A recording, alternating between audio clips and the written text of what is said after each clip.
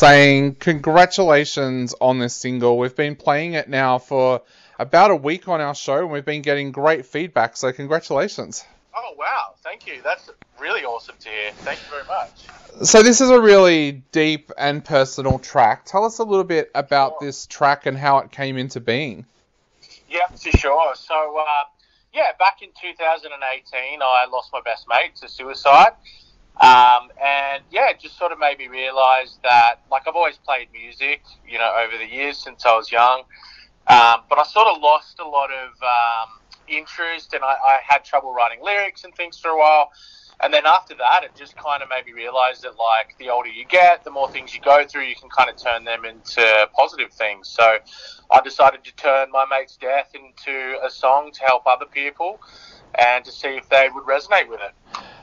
Did you find it difficult to sit down and write? Because I, I lost a partner as well, and I've never been able to I've never been able to write about it. I've always tried to a number of times, and I've never been able to put it down on paper. So did you find it very difficult to, to write about it?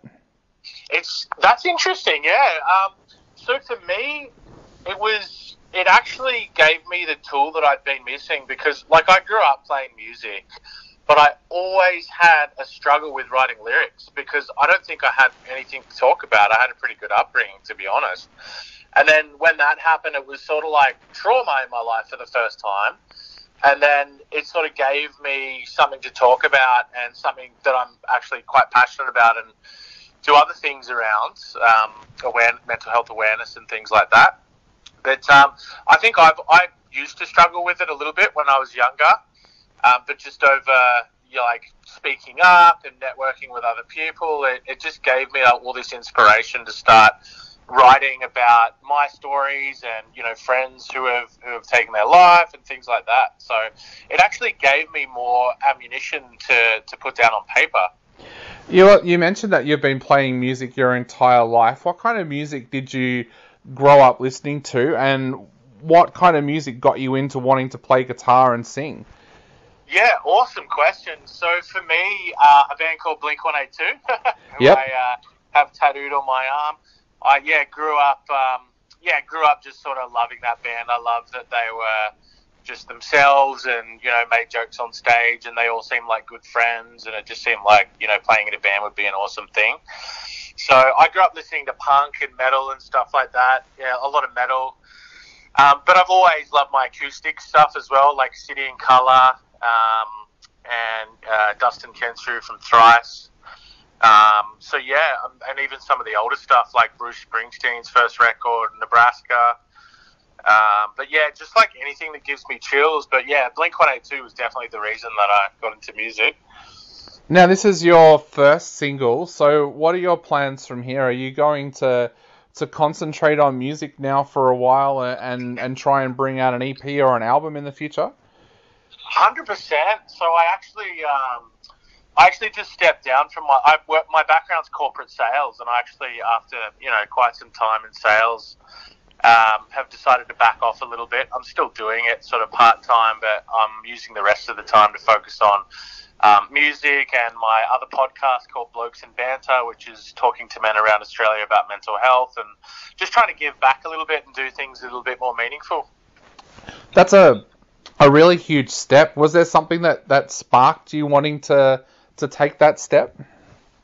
Yeah, I think just like the nine to five, like it was great. It's great having money. You know, money money buys freedom, but it definitely doesn't fulfill you. And just over time and lessons and things, I've just realised like you have to do things that you're passionate about. Otherwise, you'll you'll age quick.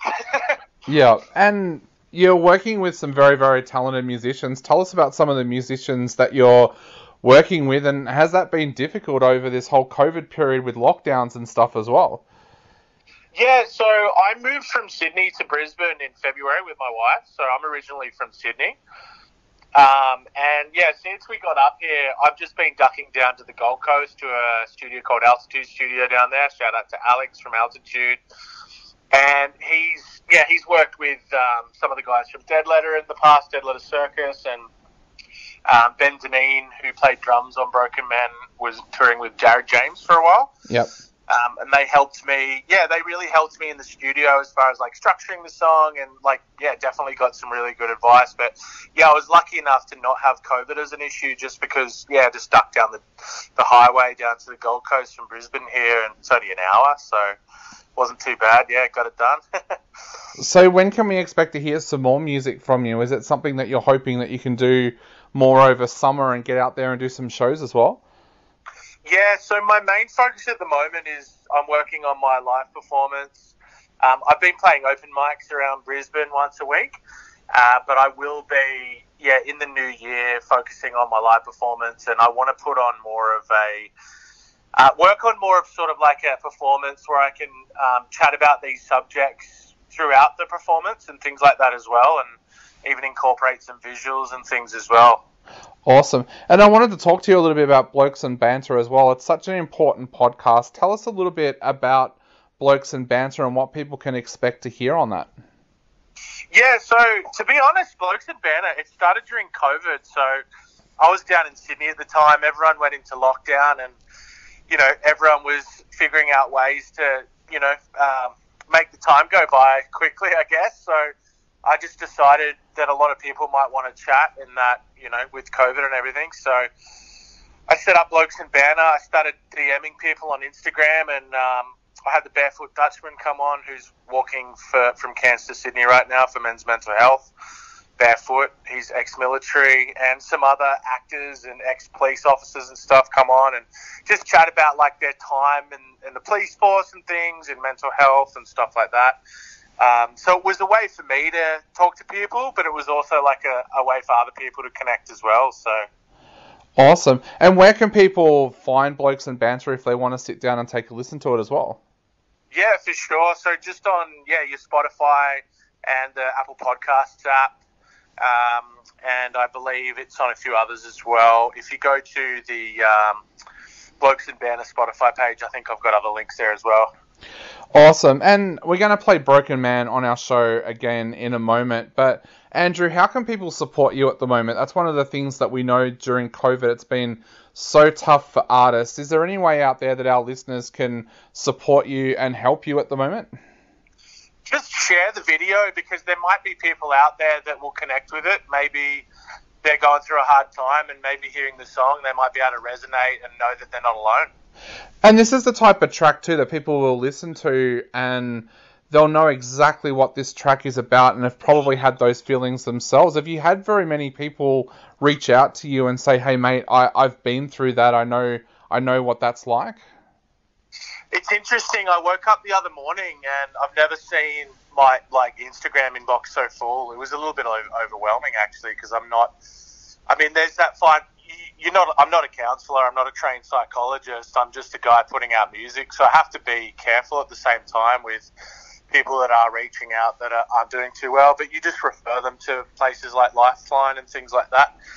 Um, but yeah, it's been apart from that, like it's been awesome. Lots of good feedback, and it's definitely um, it's definitely touching a few people. That's for sure. Definitely. Well, Andrew, we are going to play the track again right now on our show thank you so much for taking the time to to talk to us today. And is there anything you'd like to say to everybody out there before they have another listen to Broken Man? Oh yeah, look, just check in with your mates. You don't know you don't know what people are dealing with under the surface. Just check in with your mates.